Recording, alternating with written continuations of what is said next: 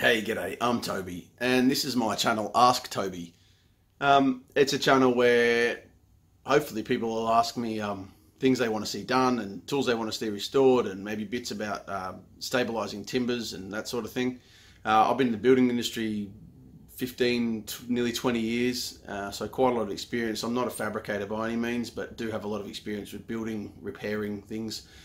Um, was never good at school, but definitely know my way around a, a workshop and tools. So um, I started this video a year ago, actually last Christmas. I got the I got the uh, Gameco kit from my wife um, to build a forge last Christmas. Now, obviously, it was a uh, I, I bought it and paid for it and everything, but it's technically from my wife now.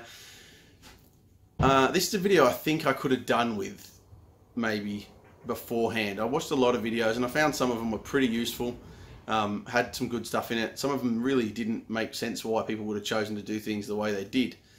Um, and like I say, with the experience I have in the building industry, I thought, you know what, I'm going to put a video together that I think actually puts together minute by minute essentially how to build a forge. So I think this is for someone who has done very little fabrication, maybe just bought himself a welder, decided they want to get this forge together and actually doesn't even really know where to start, maybe um, very little sort of experience on the tools. So uh, it is a long video. It's an hour and 20 minutes, I believe. Um, please feel free to fast forward through uh, any sections that you've already got sort of down pat. And I've um, gone into detail, real heavy detail on some things that I found more difficult to find out information on, like the angle of the burner and so on and so forth.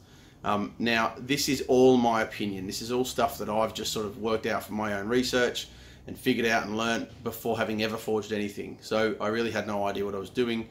Um, I have now been forging for over a year and I do it quite frequently um, and I'm getting reasonable at it. And there's things on this video that potentially uh, I might have done slightly differently, but having finally finished this editing uh, a year later um, over sort of eight or 10 hours of, of, filming down to an hour and something, um, I'm watching it back thinking, no, this is still a really good video that I, I could have watched beforehand and I probably could have built a video off of it. So I really believe this is going to make some difference to people during this project. So uh, thank you so much for your time and energy watching it. Uh, this is a very long intro as well, but I really appreciate your uh, subscriptions. Um, if there's anything else you'd like to see done, please just ask me and please share this video and like this video and click on your bell button so you see any new subscriptions that come through. Um, I'd love to hear your comments and if there's anything you think that I could have done differently, I'd love to hear that as well. Thank you very much and have an awesome day. What I will add to that is actually that, like I say, this is a Gameco kit. Um, I would say a lot of people spend time and energy making burners and that sort of stuff. I think for the sake of about 300 bucks, you can't go better than, than the Gameco kit. It's really so easy to put together. The kit's so well designed and engineered. I've got uh, I've got history in the in the gas industry, um, so it makes some sense to me that if someone's already produced it, then use it. So if you're in Australia, I wouldn't bother sort of messing around making your own. Just buy a Gameco kit burner and put it together. Thanks very much, Gameco. And in no way am I sponsored by them. Okay, so I spent quite a bit of time trying to work out how to mark this, seeing a lot of people do some odd, peculiar setups with bits of wood and all that, trying to mark them. We know around about how high we want to cut it. So let's just grab a square, a Sharpie, simple clamp. If you just put your Sharpie, try to work out where you, how high you want it, which I'll put a little dot there, and then put a clamp on. Should be as easy as spinning on the flat surface. Now I've done all this before I cut any of the the ends off because they're the thing that keep this thing level and square. This is all built in a factory, you know this is going to be exactly perfect.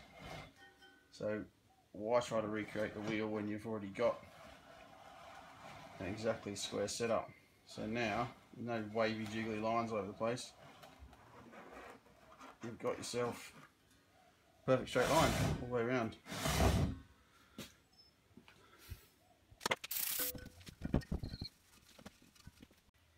Again, we want a nice straight cut for, well, at least a good square place to start from.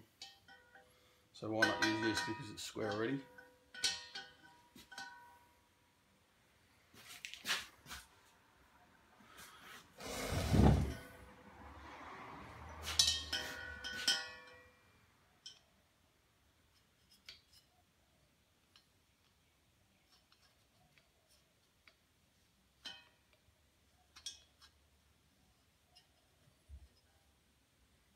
Nice neat straight line from there. I can cut this off, meaning that we've got a good marking point.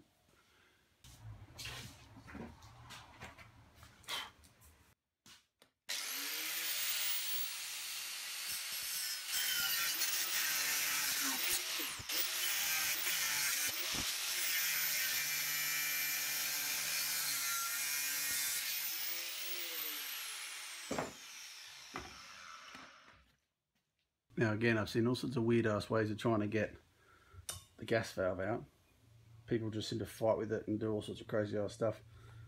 Seems to be a much more simple way, but we'll see in a second whether it's going to work.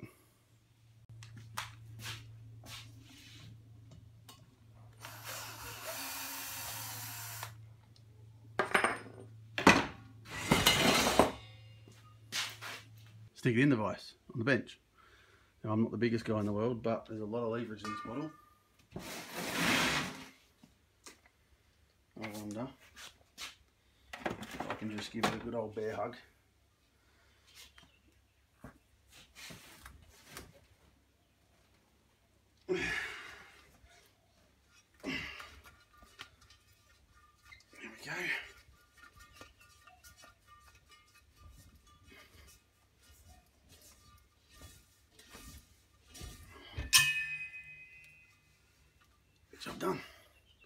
Top out. Wasn't that hard after all. Wheel instead of a cutting wheel. Much easier to just take these tops off so we can start marking it out.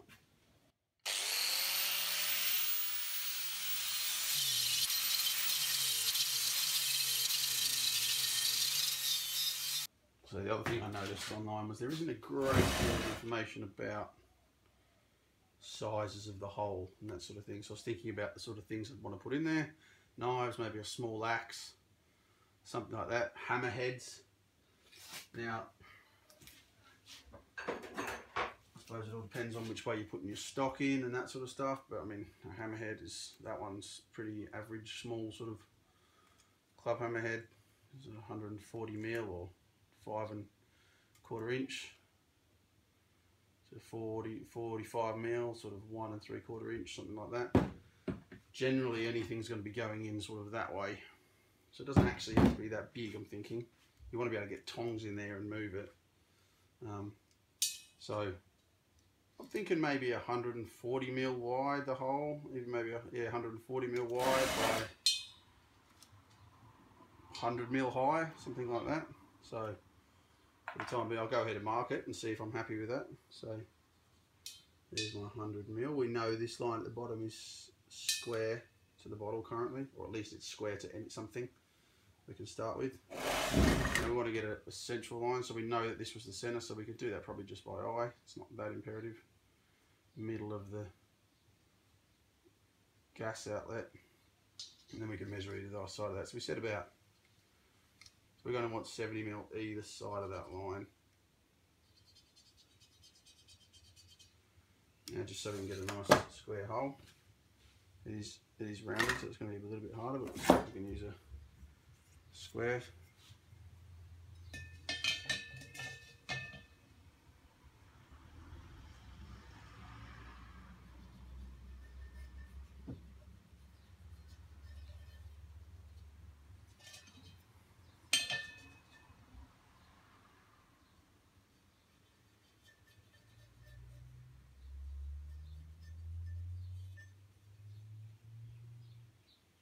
pretty good to me.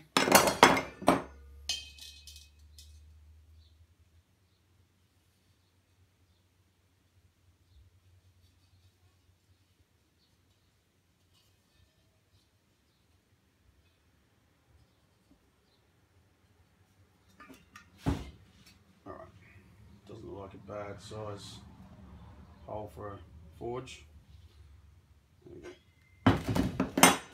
So next thing I'm going to do is save myself a bit of faffing around like I see a lot of other people do before I start cutting all this open and cutting it off, I'm actually going to weld something to support it. So weld some little feet out of the way of obviously all my cuts. And they may not even be my permanent feet, but they're going to give me a perfect level structure to work with.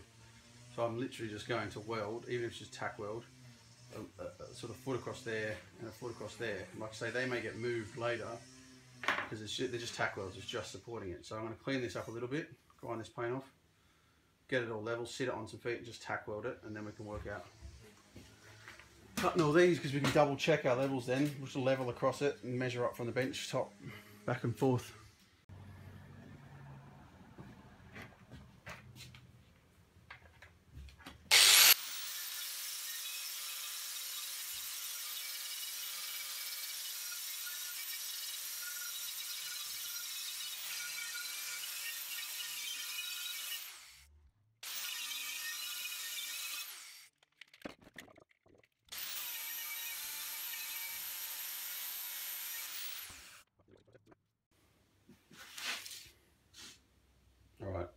whatever these pieces I'll probably reuse them as the actual legs. So I'm going to cut two pieces at 500 long, which is just basically 19 and a half inches, so anywhere around there.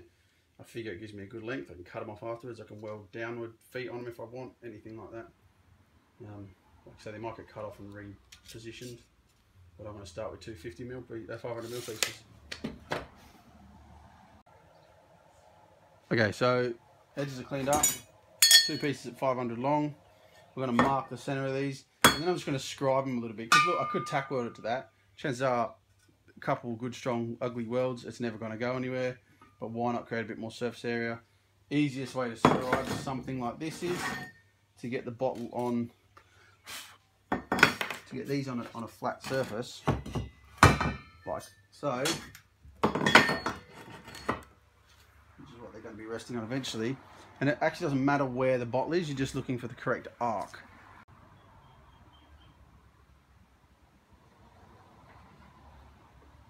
so we're going to scribe this under here you can see I've actually done it but the best way is to use a bit of a spacer put it under there like that because it follows it or to have a spacer on the pen and just basically draw a horizontal line keeping your pen really horizontal along and you'll end up with a nice shape that fits the underside of the cylinder perfectly when you cut it out.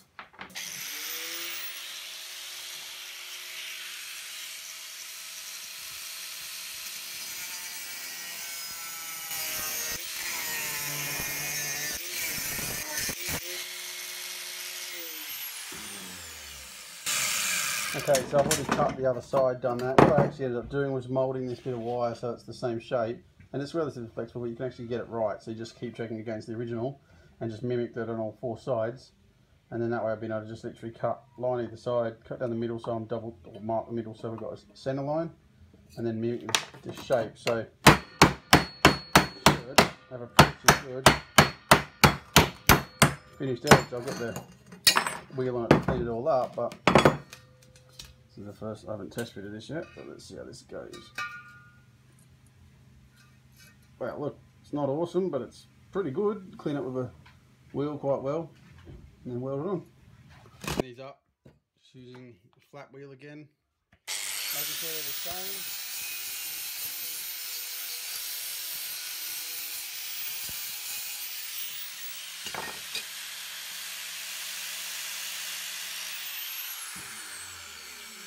Pretty much identical. And then all we're doing is just checking. Going yep beautiful. Fits fits same with the other one. And then all we're going to do is clean our bench so we're nice and level. Find our place where we want to put them. And just essentially tack them on, then we can flip them over and give them a good proper weld on. To make the outside edges at 160 mil apart, give us a bit of a wide stance, which is going to be helpful, obviously. And then, so basically we can just transpose that onto these so that we know we're in about the right place. We start, we get this right to the edge because then we know we're square.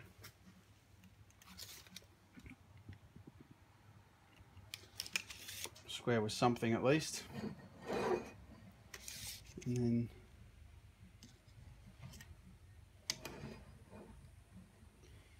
bring it into one end's 160 hold that one down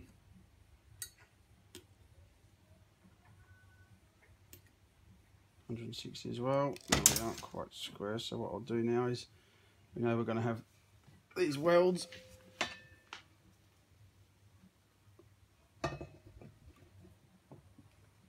sitting on them.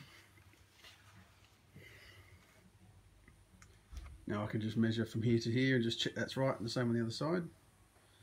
Get a first tack on. Okay, now we're at this point. We want to check that we're our lines and everything are level before we weld it on, otherwise we're just going to to redraw them. So we want it pretty good. It doesn't have to be the world's most perfectly level line, but it would be nice if it was a level point. So we're just going to adjust it until we're happy with the with the line.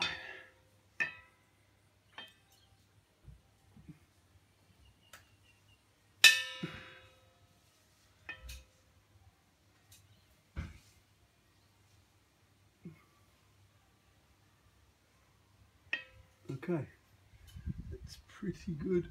I like that. I've increased these sizes to 170 mil apart, uh, 175 mil apart outside to outside, just to give me a little bit wider stance. That's all solid. Now there's no reason why I can't just get the welder and just put a tack on here and a tack on here, and then flip it over and weld it properly. Back one's probably a little bit harder because I've got to get round to it, but we're only tacking it for the moment.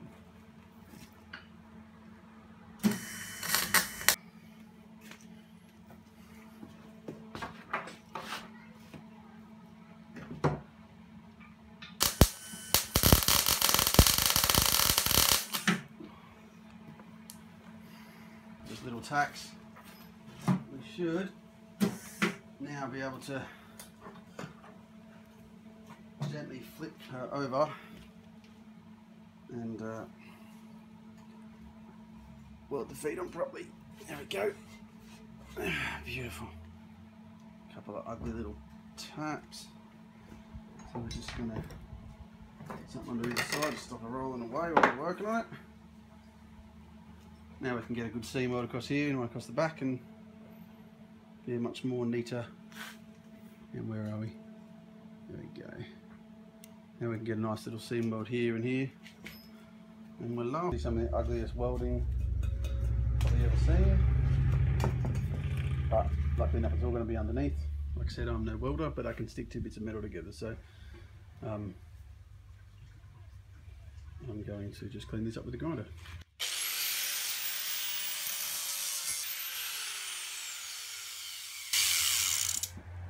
Just had a little thought, trying to do that, just realised one thing I would do differently if I thought about it again now is grind this whole section away first, clean the whole section back to metal because now I'm going to have issues sort of getting under here trying to clean it which I'll be able to do but it'll just be slightly more frustrating than it could have been. So um, I would just do that whole section and you guys do it. I must be doing something right. Nice and solid, no rock at all. Here's what we can do now though. We can make sure our rear line is all correct. With the front one because we're totally completely level now. So on here solid. So what we can do is we can double check our height and even get a pencil and mark just to make it easier. Perfect yep happy with that. Go around the back and be able to do the same when we once we cut this off so we, we know that we're there. So you can see that we're about there somewhere, but we can double check that once we cut this off. This is a perfect way to double check it. Now I meant to say we can actually confirm our center line by doing this because we know this is solid. So it's 210 mil. So basically you're going to be looking for 105 mil down there, mark a line, put a level on it, and you get a straight line, which is confirm we have completely solid base. We've got something to work with and cut this bit off.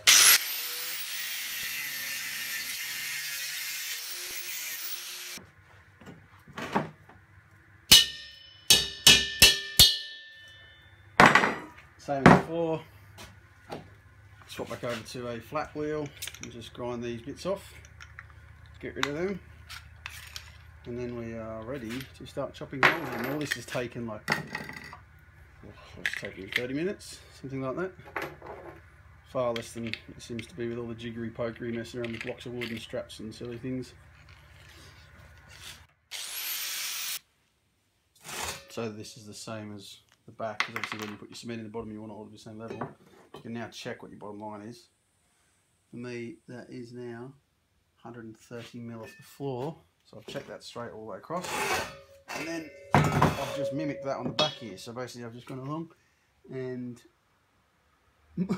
marked it wrong. Actually I want 130. For some reason I've marked 120.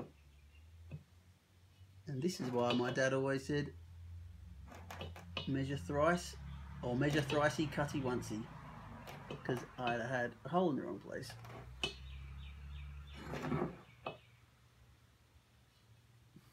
Just confirm that.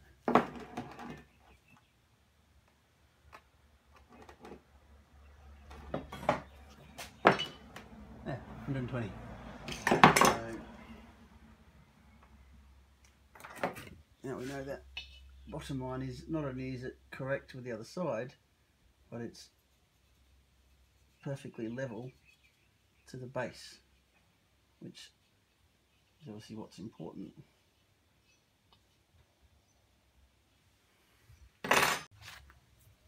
Alright, so want this little hole at the back. You don't actually have to do this. I've seen this done without a hole at the back. My reasoning mainly for it is maybe controllability, but more if I ever want to do anything long, like I don't know, a sword, something a bit longer, I want to be able to put it all the way through so part of it's poking out the back. Gives me enough, so I think I'm going to make mine maybe 55 mil, 55 mil high, and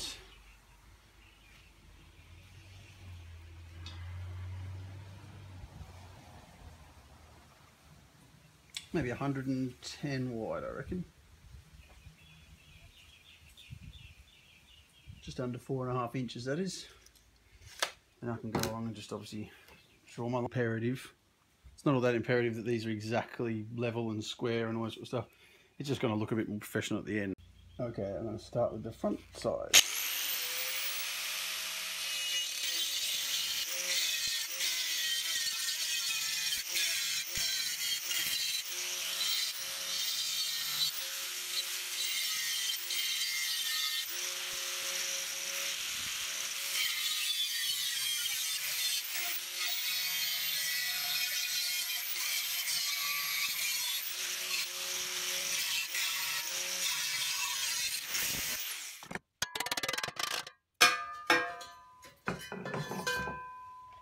So we can give this a clean up, obviously, on the edges with a file or a flap wheel, whatever you want.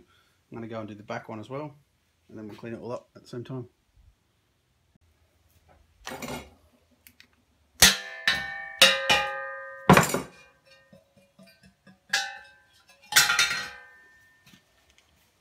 Cool. All right, change over to the flat wheel and give it all a clean up.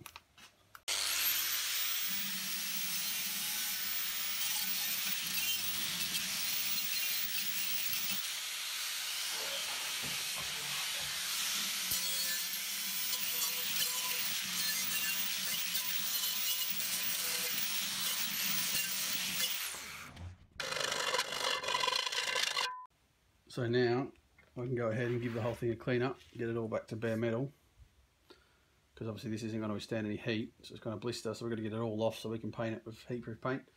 And I'm going to take it all off, and what I'm going to do is I'm just going to leave this line. So I'm just going to leave a little gap here. So I'll be able to see where I'm going to cut. Um, and then I can cut it off and grind that little bit off afterwards. So this is the beauty of all being on the stand. It's solid, there's no holding it and rolling around and messing around with it.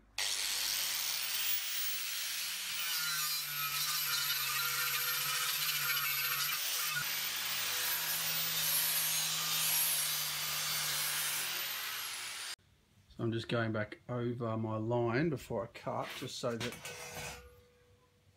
it's easy to see. But before we chop it. And we'll go over any bits where you might have accidentally sort of nicked the line and take any, any back off of it.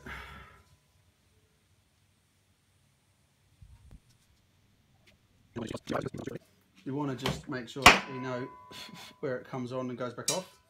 So if you just draw yourself a couple of lines, and the reason we do lines is because, or with the rulers, because if you just do that, they don't line up your stuff. So what my dad always used to say was do one straight and then one at an angle, and then you can do one around here that's straight, and then just in case anything gets Uh, knocked off with the grinder and then you can't see it, you'll always know which one was which. So now to chop this, easy peasy.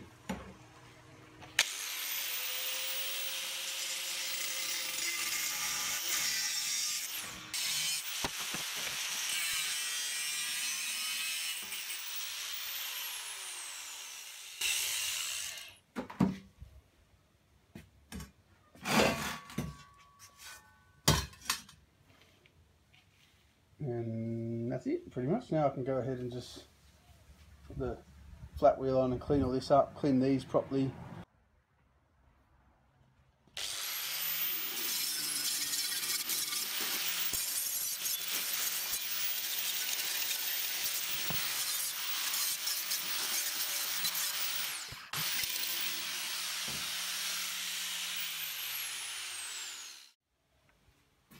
So the next thing we want to be doing is thinking about putting our burner in. Now I got my burner and my refractory kit on my insulation from it. I don't think you'll find a better kit, um, and it really sort of speeds up the process rather than trying to perfect the the burner.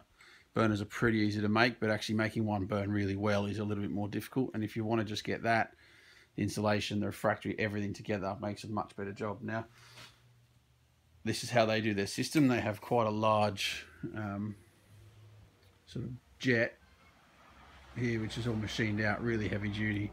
Like I say, far better quality than just a bit of steel pipe. Um, now that actually obviously gets welded in.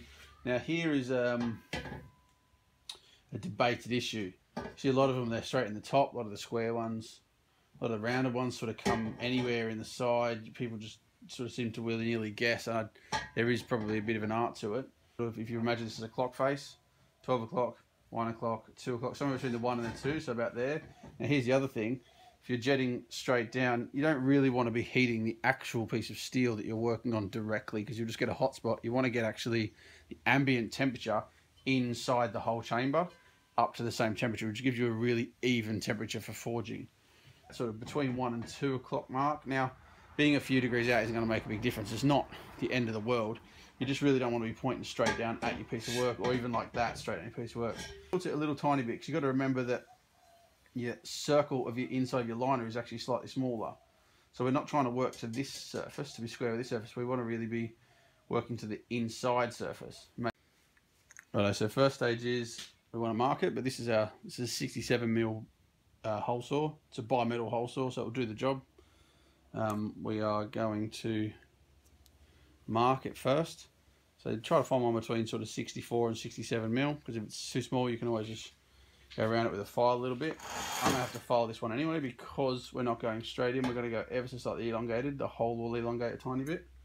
So we said we want to start. So if this is our center line around here somewhere, we want to go our sort of one, then two, maybe somewhere in between. So the seam down the middle of the tank, once it's together, is actually the middle and so we want to actually weld right in the middle of the middle, if that makes sense. So we're going to know we're on that. That, is our center line. And then we want to look at it and go, okay, well, there's our one, there's our two. We want to sort of be somewhere between them. So that's about there. So this is, like I say, it's a bit of a sort of guesstimate.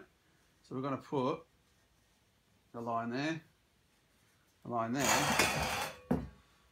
and then we know that's where we're going to put our burner.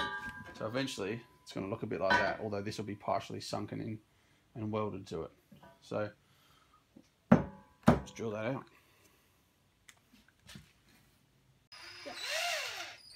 Okay, so we're going to start by drilling this out. Stop it skating around, we're going to do a little pilot drill. It's in the middle. You could either do this or put a hole punch in it.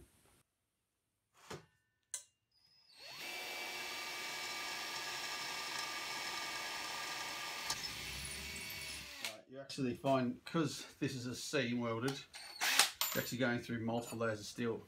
So you're going through the weld and then probably at least two layers of steel. They might have even folded it, so it could be three, but one will be stretched over top of the other, so at least two layers and then weld all the way around. So then we can go up to the next size and we should, it should stop it skating around.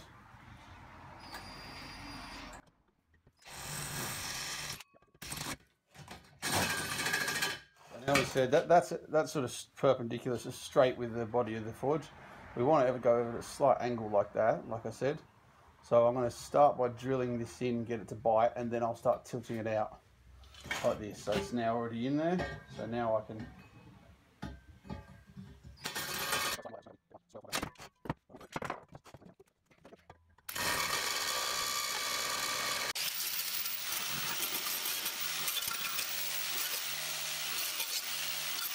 that. We've got this bit of steel, 100 mil deep, so it's going to come out sort of here somewhere, which is perfect. We know our gap here is 140 mil, um, so the, we really want the shelf to be minimum of 140 mil. The thing I'm thinking about is having a fire brick that I don't have to take off. I can just maybe slide it to one side.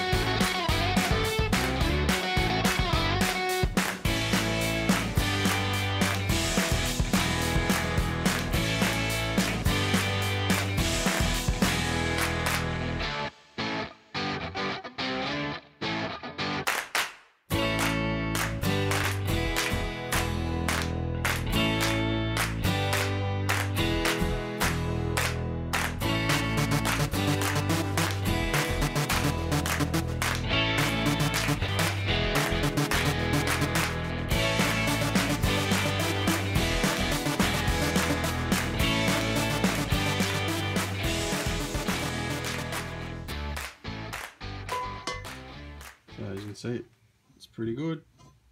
Now I can weld that on there. I'm going to also put little flanges on here.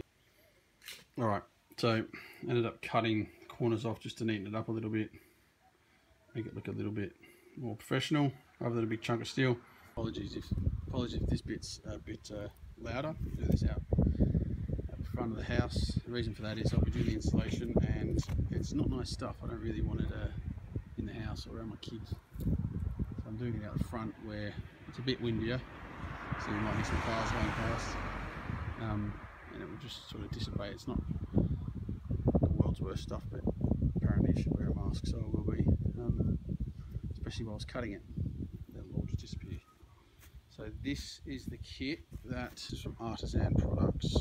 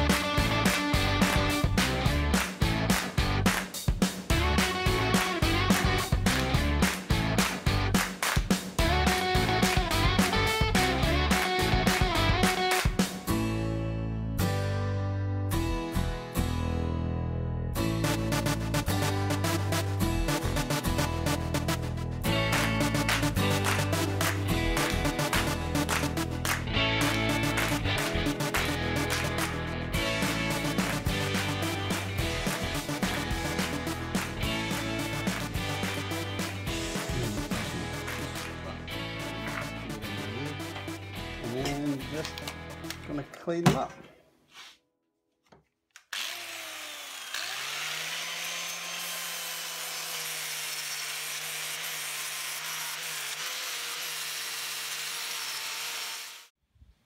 Okay, we're gonna cut our insulation. Um, back on with the uh, protective gear again. Mask and gloves so we can throw those away. Back outside again because we're cutting cutting this. Um, so thing to start with is something like this. This is actually just a hacksaw blade that's been cut down. I've sharpened it up nicely so it pierce through. Uh, sort of been using one of these for a long time. I used to build Rayburns and Agas. Uh, I don't know if you know what a Rayburn is, but I used to use this for building So I used to cut this stuff quite a bit, and it actually makes a nice easy job of it. So you just put it through. Using the blade bit on the back. You can actually sharpen that right up and just push that through. You get a good uh, hole. And then just essentially we're following the line all the way around. Now the top line I like the bottom line sorry I like to keep that nice and level. And I tend to cut on the way out so that it's not pushing it in like so.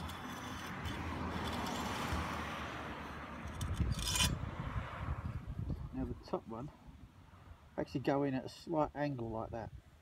So just a little bit although I am going to build a shield on this one which you probably don't need to but if you're going to leave it like this I tend to just thin it out a little bit that front bit just to give you a slightly wider opening.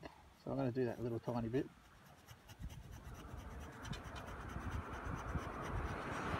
So just keep the same continuous angle and the same as before just cut as you're pulling out and you get a nice and neat straight finish. Now you can compress it a little bit with your fingers when you're doing the rigidizer. That's the same end and then basically the same on on the edges. Tiny little bit of an angle I like to use like I said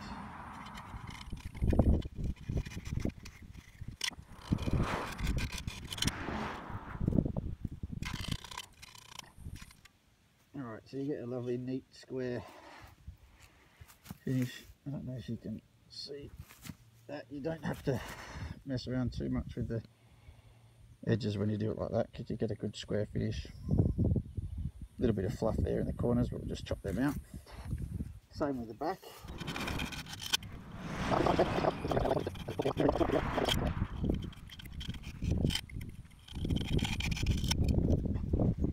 Okay, so the last thing to do with this is cut the hole out.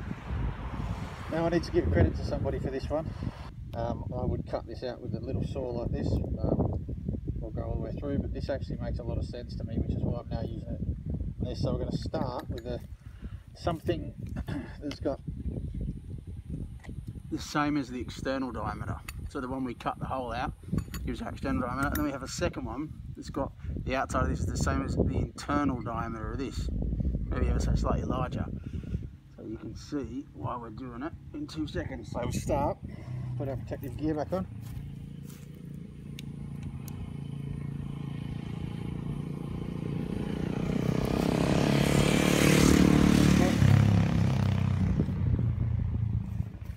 First one through using the big hole. Just protecting this to stop it sort of falling out. Remembering that our burner is going to go at a slight angle so we're going to do that again on this one. So just by hand we're gently going to go through now we don't want to go too far through because we don't want to punch it all the way out so what we can actually do is use something like this gives an idea on thickness and we go oh yeah maybe about halfway through so it's approximately halfway down those holes. Just pick a mark and be happy with it. You can draw on this if you want to.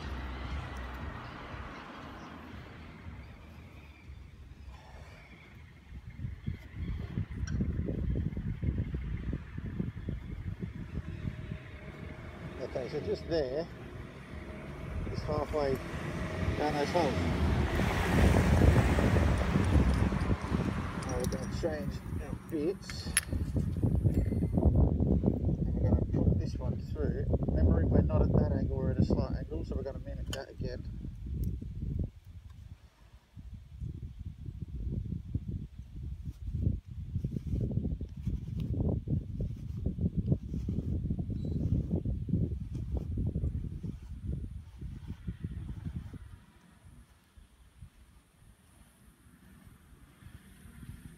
Get all the way through this time.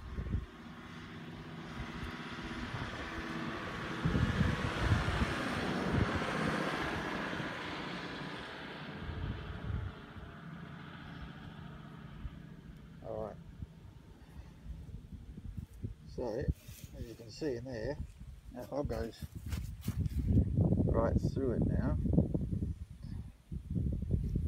And then we've got to get this bit off because we want to get that. So with one of these, you can you can just heat these up and bend them, but but they tend to snap if you don't. So if you heat that up and bend it, you can get a good sort of cutting angle on it, so you get a sideways cutter. But we know we're going it's halfway down that hole, so about there somewhere, a little bit above my H. So if you sort of work out where you are and kind of poke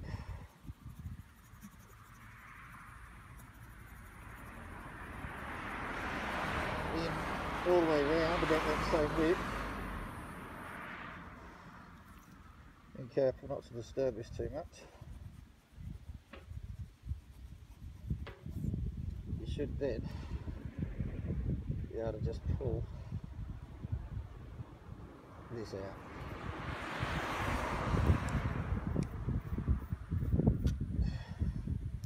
Now we can check that because we're going to put this bit in. So using that as a little bit of a seat, I can just get a flat finish on it.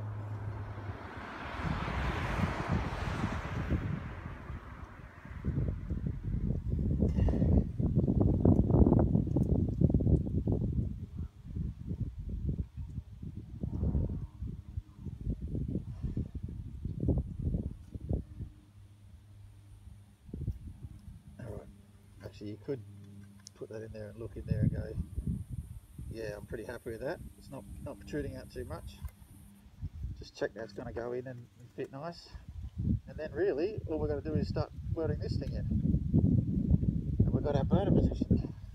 Easy as that. This is all going to go harder when we rigidise it because before we put the burner in, we're going to spray our rigidizer, which makes all this go rock solid because if you put this in and then do it, you'll never get to this section and it will just keep falling apart on you.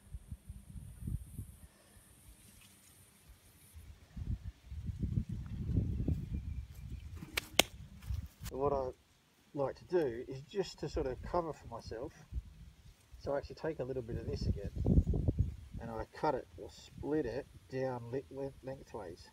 So it's actually grained that way. So you can actually lay a couple of bits of that at the bottom and it works a bit like a spacer.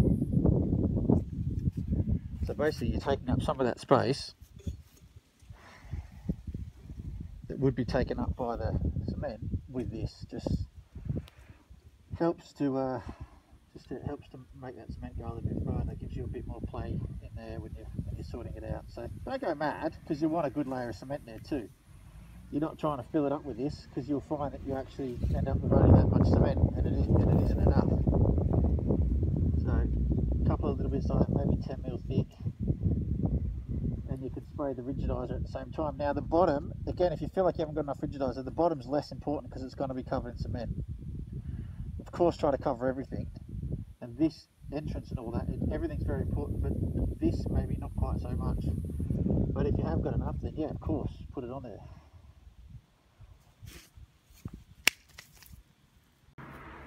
Okay, so this also comes in a gas kit from Artisan Products.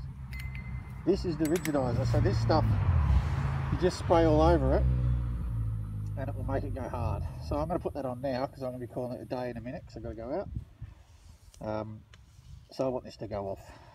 So before I put my cement in. So literally you just turn your nozzle on and just start spraying it, it'll come out. So it basically makes everything blue. Now start with this because this is really quite important this bit. Making sure you're happy with your opening, everything's a good shape, which it is.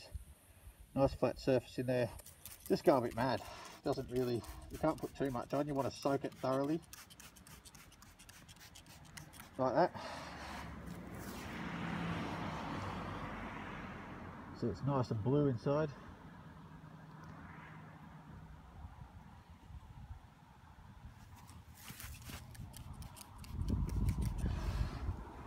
And then, because this is the biggest end, we're going to start in here. Just go mad soaking it with, with blue everywhere. Sort of blue colour all the way across. So as you can see I've got a really good sort of coating on the, all around these sort of entrance edges. Any place there isn't probably quite as much is so bloody blue, black white, isn't it? Is inside. I mean, actually, it's better like that actually without the white.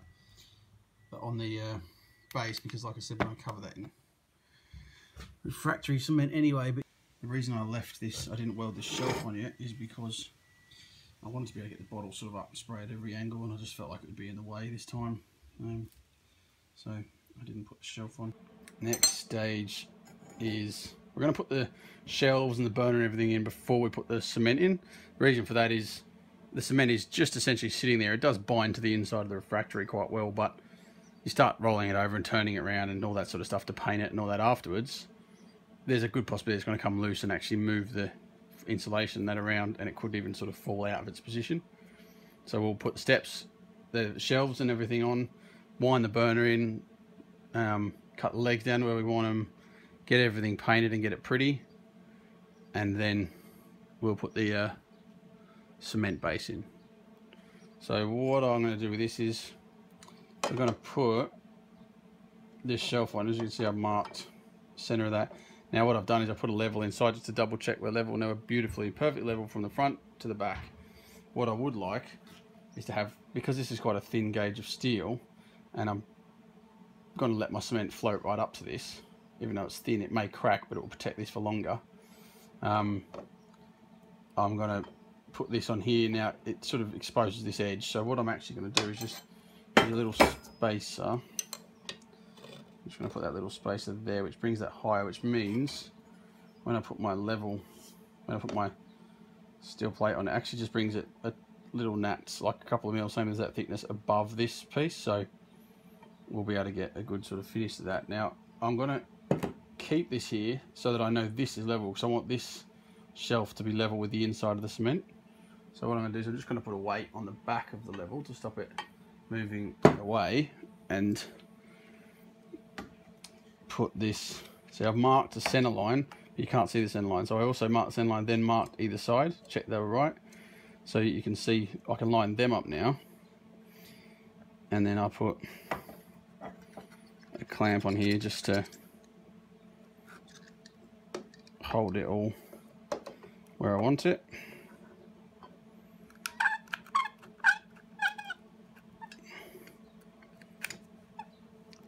Now we can ensure, because it's pressed up against the underside of this level, that this is level with the inside.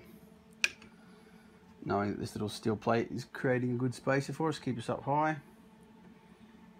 A weight on the back of the level to stop it trying to get away, or a clip or whatever you can use. Now the only one thing you want to double check is, because it's this isn't square, I mean we could put that central, that would probably help.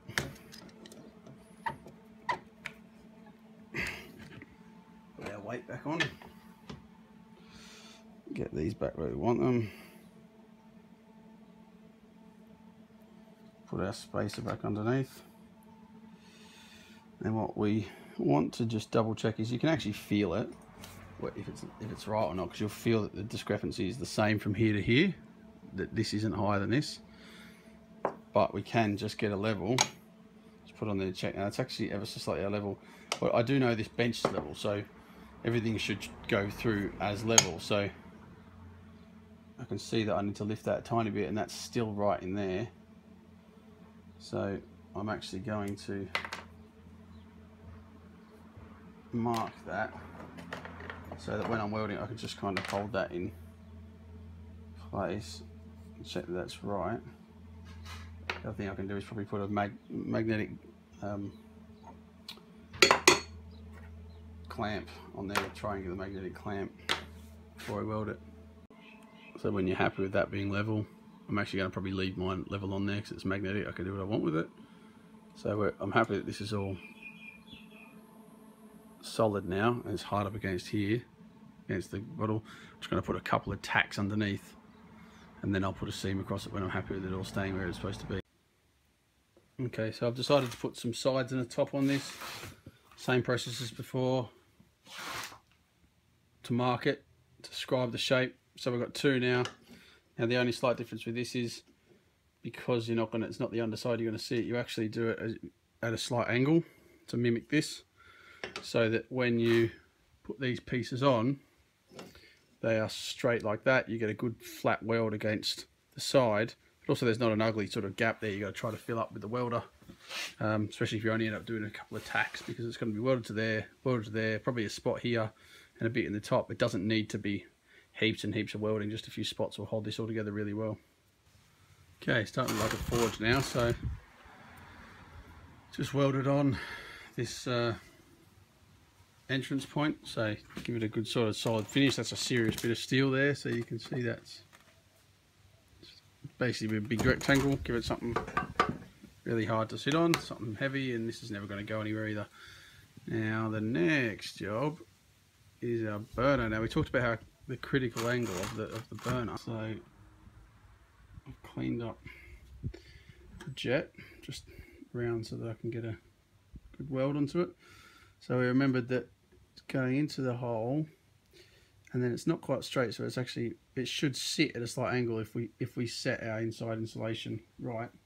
It actually is now tipping at that angle. So if you look at it it's not going to be jetting right onto the floor and and sort of heating up anything that's there. It's going to go off at an angle like that which means it's going to start to create this vortex which is what we want.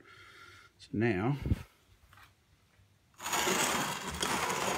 just going to go ahead make sure it's straight this way and then just weld all the way around there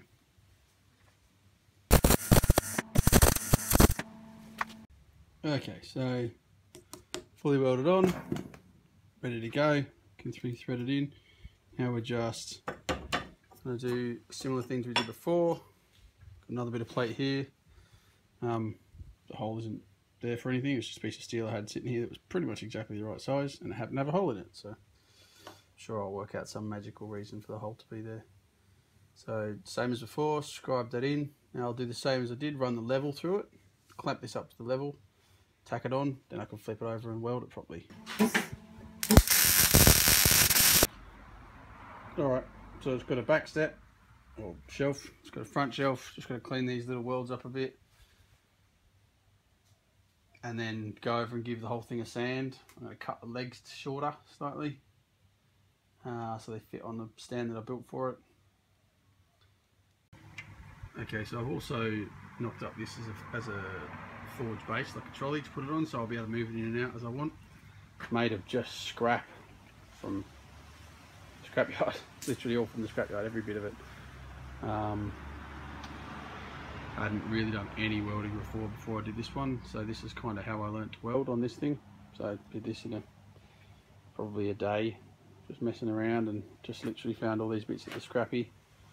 Um, so yeah, sort of taught myself to weld on this so that I could do the next big project. Now that is 400 wide from there to there, so I'm going to sort of bring my um, feet of my forge into maybe 320 so that it's sort of it's not all the way to the edges, so there's no sort of sharp edges on it, and then even put some slightly rubberized feet on it or screw up from underneath into it. Um, so if you want to see the video for how to make that, then look on my channel. So those wheels, by the way, are front wheels off a wheelchair, which was awesome. I was able to sort of grind the edges of the circle a bit flat and just slide them straight up into the into the. So we want our centre line. We can actually estimate this. It's not all that crucial.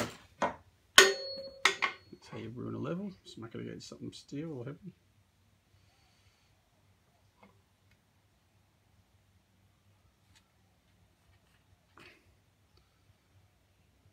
Okay, and then we're going. I decided to go 330. So 165 from either side. Hmm.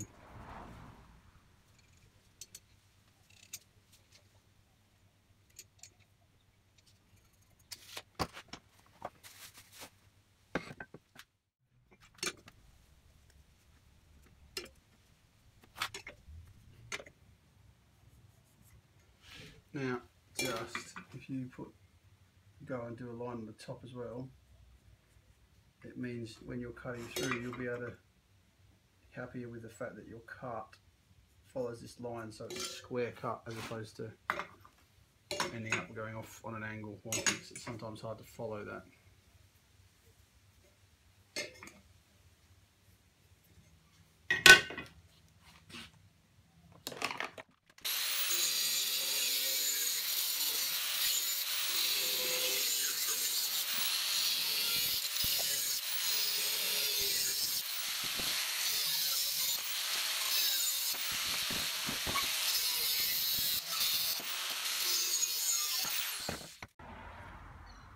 Pretty important to consider the uh, finish of it to make sure the paint adheres and it's really only for the paint to adhere and not really for looks for me. I'm not actually that bothered. I, I want it to look good but things like this weld here where I had trouble with it I'm not going to spend forever trying to file that down because I can't get the grinder in there. It, it sort of shows the story of learning to weld and create these these things at the same time, um, what you do want to do is make sure it's sort of roughed up all the way around. There's no loose stuff on it. You haven't got any of the sort of scorching from the uh, for the welding from the welding because you see the paint's not going to stick to that very well. So just get into that with a wire brush if you can. We are um, ready to paint pretty much. So what we do here uh, is this stuff is wax and grease remover. It's pretty important. If you spray paint onto something that's dusty and greasy, it ain't to stick. So it's quite imperative that it sticks. Um, stops it rusting, that sort of thing. Now, this is something in a workshop. Does it really matter if it rusts over time? Probably not. But why not start it out with a with a, a good finish on it, at least so it's going to last longer if possible. So, a couple ways of going about this start on the top, go to the bottom. I tend to think that you get the bottom done first, flip it over, it doesn't really matter if you kind of ruin the underside a little tiny bit. So things like this, I tend to uh, give these a clean up first. So there's not heaps of this in the can, but we're basically just spraying it on using a lint-free cloth, so a nice old pair of underpants or something that's generally been washed so many times there's not a lot left in them. Give that a wipe over.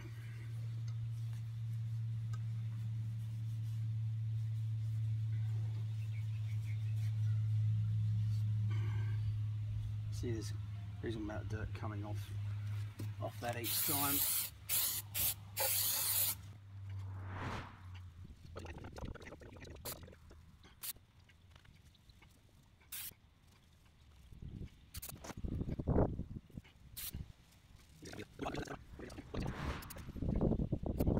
You also want to make sure you get rid of all of this wax and grease remover first before you start painting. You're not going to be able to get in every little nook and cranny, but try your hardest. And then give it a few minutes to dry, obviously, before you start, especially as it's in the sun, it will work alright for me. Before you start uh, painting spray paint, always wear a breathing mask because I'm outside, it's a little bit windy. I have a big, another big piece of plastic which I use as a guard, sort of help stop the wind. You read your instructions on your can. This one's pretty good because you can recoat um, every 15 seconds or something. It's pretty, it's pretty awesome. Um,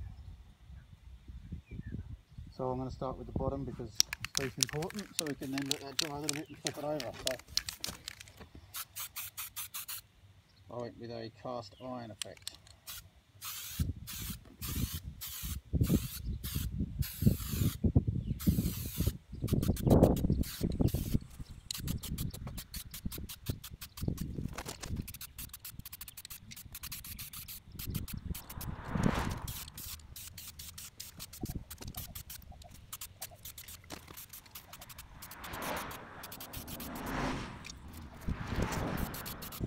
Okay, stuff about this. The thing about this stuff is you can pretty much finish it all in one sitting. If you leave, if you do get a bit you're not happy with, then and it goes off, then give it an hour, and you can start another coat. You need to leave an hour in between or get them on really fast. Don't be afraid to use too much either. Well, unless you get runs.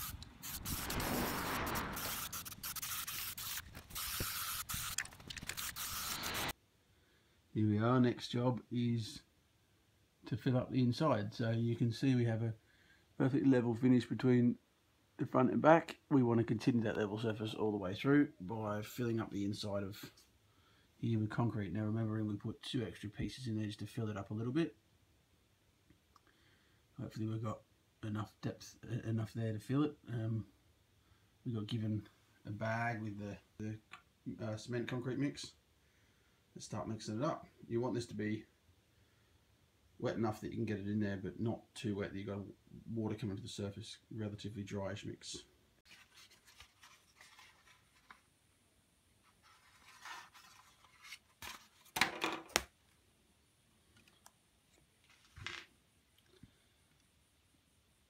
Easiest way I think to do this is less the messing around. You see people sort of jiggering it in, trying to get it in and out. To get something good size. See, I've uh, I've wedged up the the base of this so it's at a bit of an angle now. I'm going to go even further than that I think now I've looked at it a bit more. Raise it even higher because we're not going for a total liquid, it's not going to run out the back. So whilst we're putting it in there initially, I'll have it up sort of at a bit of an angle like this because you'll find it's far easier to get it in and out, to get it in there. And then obviously once we're once we've got enough in we can bring it back down to level and trowel it off.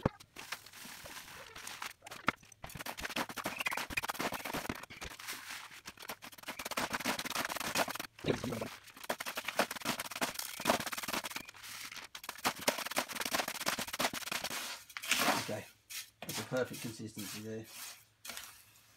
A little bit of slump in it still, holds its shape mainly. Now I do this a lot, so I'm able to sort of estimate about the amount of water and about the amount of mix, so that's pretty much exactly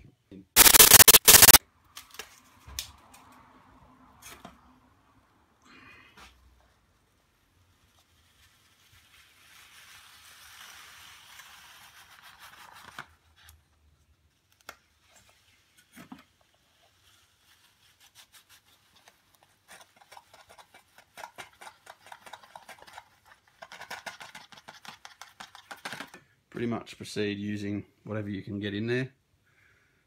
I can use this gauging trowel to get in there and just leveling it off. The most important bit really is to get level right through to front and back. Um, in theory, the sides aren't quite so important. It would be nice to sort of get it to go up at a slight angle either side, but it's less important because they're actually going to fill up with scale and jump from the from the uh, sort of left over from metal anyway during the burning process. So, like I say, what's important is to get a nice shelf all the way through.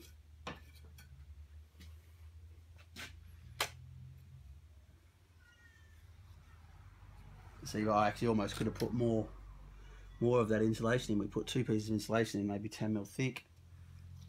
I would say we could have put significantly more than that in because that would be nice to be more full than that but what can you do eh?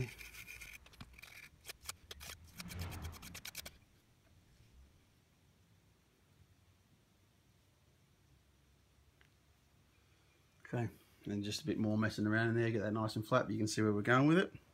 We'll see when it's done. All right as you can see I I covered this up just pretty much to protect my um my paintwork a little bit. Like I said before, it's probably not the end of the world if the paintwork isn't protected because it's going to get pretty scratched and damaged in no time at all. It's going to get blacked up real fast. But why not start off with a nice finish? So I'm just going to take this off now. The only really thing you've got to do after this is just pretty much leave it alone. Let let it go off. You need to keep it straight and level give it 36 to 48 hours and then I'll I'll um, burn her up. Just drilling a couple of holes for some feet which I had sitting around somewhere in a packet from a job that never got used. I'll put them on next. I've now mounted the forge to the uh, stand, the trolley that I made. As You can see it's all gas bottles under there. It's almost ready to go. Put some put those feet on. I'm just about to start setting the burner up. Setting all out the packet.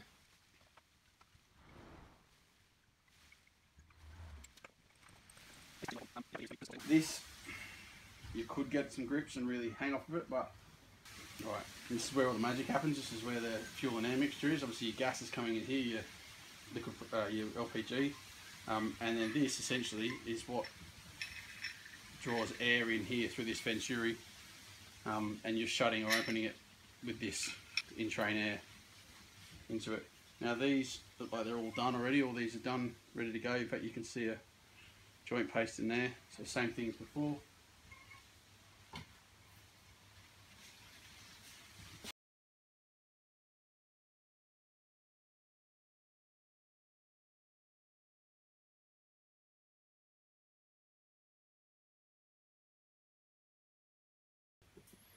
So this is a 15 mil nut.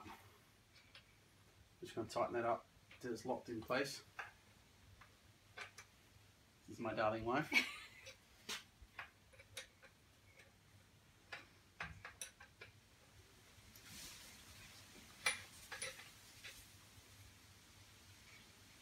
Okay, not too tight because it's brass. Final thing is gas regulator. That doesn't need any sort of joining compound on it, just does up tight, not crazy tight because you'll damage the thread, but that's about it.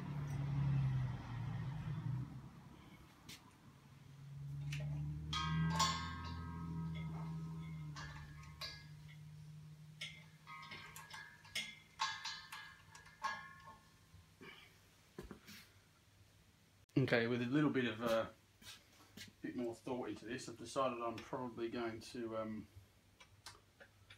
have my burner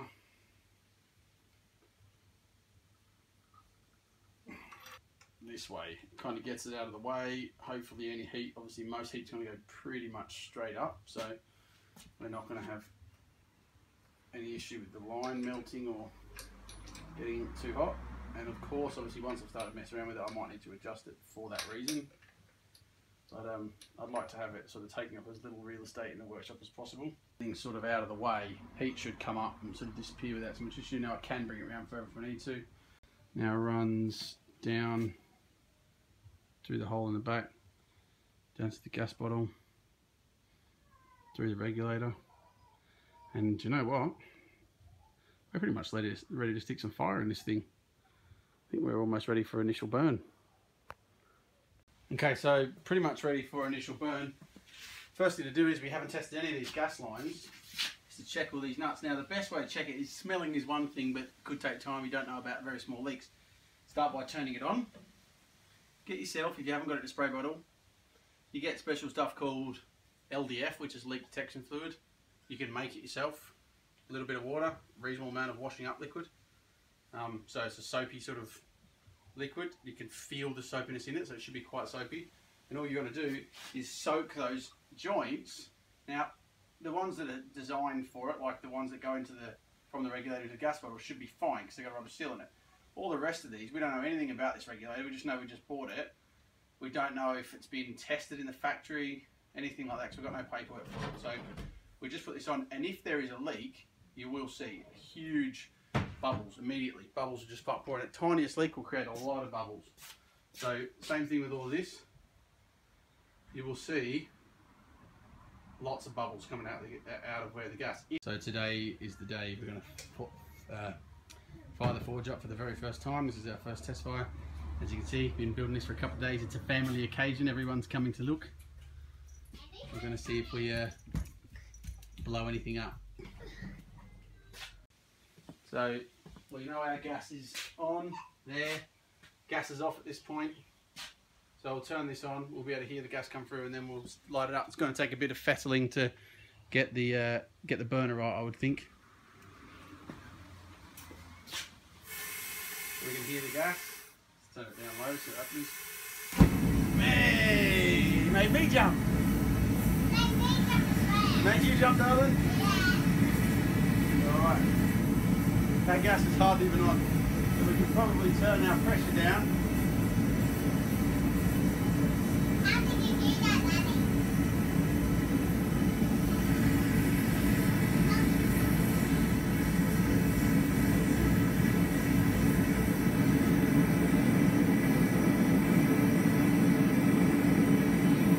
And this is obviously daytime, so it's a little bit hard to see what's going on, but you can see it's warming up beautifully in there. Get a really good temperature up really quickly. Forge has been up and running for maybe two and a half, three minutes, so it's never been burned before. Haven't let it actually warm up. I just threw this piece of steel in immediately. It's actually running really well. You can tell by the sound of it. Now it's daytime, so it's hard to tell, but you can see that that's you can see that that's pretty red, and it's going to obviously get hotter really quickly. So we're not we're not far off being able to forge it. So if All right, I feel that was totally successful. I can't really think of a great deal I'd change um, about this forge.